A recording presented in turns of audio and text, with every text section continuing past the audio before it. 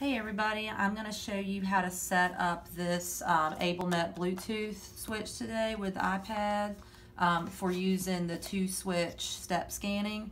So if your student has one of these interfaces, this is how you'd set it up to use two switches. One to move between uh, pictures or things and then the other to get that. So like if they're moving through a communication app, they can go to what they want to say and then use another switch to hit it.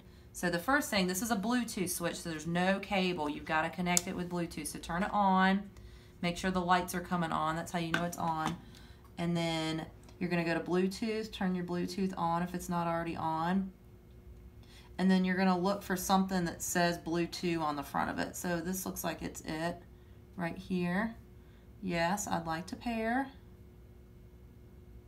Okay, so it looks like that worked just fine. So then we're going to go to General, Accessibility, Switch Control, which is down here.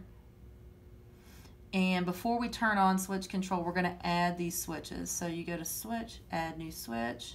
This is an external switch. And then you're going to press it. We're going to name it now, even if your student's using like a cheek switch or something, that can be plugged into here. So still, still, still set it up the same way, even if they're not going to touch this actual switch.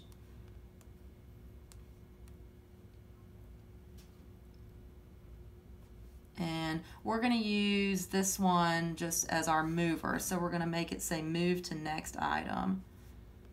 Okay, so that's our mover switch. Now we're going to add this other one right here as our as our getting switch. All right, so blue, two, S, two. Okay. And since this is what we're going to use to get what we want, we're going to say select item. Okay, so we've added both switches. Go back and make sure scanning style says manual, um, which it does. For right now, since we're scanning, we don't want any of these recipes or anything to come up here. So if you go to recipes and down here next to launch recipe, make sure it says none. If it doesn't, if it says something else, go in here and select none. All right, now we're going to turn on. Now see, when I hit the S1, because this is my mover, this is what moves between things. So I move until I get what I want or where I want to be. And then if I want that, then I press it.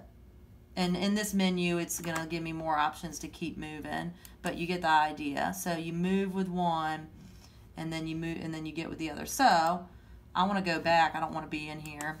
So I just move to that. Now let's get out of accessibility. So I'm going to move until I get to accessibility, and then I'm going to hit that get switch, and that's how I get out.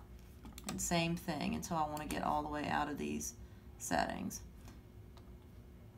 And then when you're on this home page, see how it gives you that bar. So if you selected this, then it's going to give you options to then move between what was on that row. So if I want to go to Google, I just come over here and click.